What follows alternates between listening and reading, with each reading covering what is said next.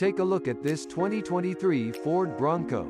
Equipped with an automatic transmission in iconic silver metallic. This car comes with some great features including Android Auto, navigation system, Apple CarPlay, automatic emergency braking and more. Come in and check it out today.